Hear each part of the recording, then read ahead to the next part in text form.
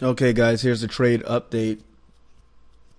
So, from auto bias standpoint, and even auto rev, we just got a major break here as uh, you know price came up, broke here, kind of uh, gave us a run, turned back around, and then finally dropped 66 pips we're cur- currently in this move down by the market. Big time drop. Big time profitability. We've got one, two, three, four, five bars. Our auto bias is doing quite well. And uh, this trade, let's see if you got into this one,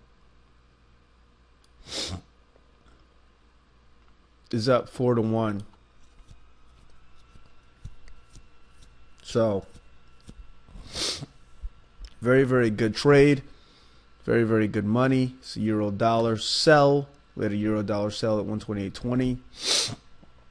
And uh, that's where we're at. All right. See you guys in the New York session.